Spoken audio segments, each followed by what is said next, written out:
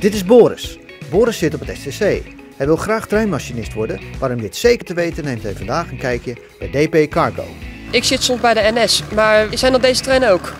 Nee, dit is totaal ander vervoer. Uh, hier vervoeren alleen maar goederen. Het is niet toegestaan om mee te rijden met een uh, goederentrein. En het rijdt veel langzamer en het is veel zwaarder als een uh, trein van de NS. Er rijdt hier net een trein voorbij, maar wat is eigenlijk nou de maximale snelheid van de trein? Hier in Nederland is de maximale snelheid van de trein, van de goederentrein, 100 km per uur.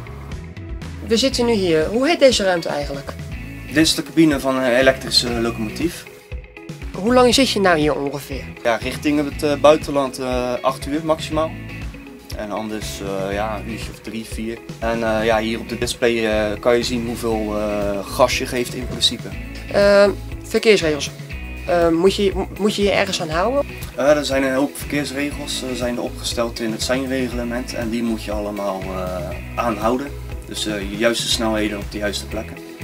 Oké, en waar leer je dat? Dat leer je op het SSC. Hey Kevin, waar gaan we nu naartoe? We gaan nu naar de ketelwagens toe. Dan zal ik je daar nog wat uitleggen. Je hebt zo'n zo'n wagon achter je, maar weet je op wat je gaat vervoeren? De gevaarlijke stoffen weten we altijd wat erin zit. Dat is belangrijk om te melden bij een incident. Maar gewoon een normale containers, ja, dat weet je eigenlijk niet. Oké, okay, je bent aan het aankoppelen. maar hoe lang is nou zo'n trein?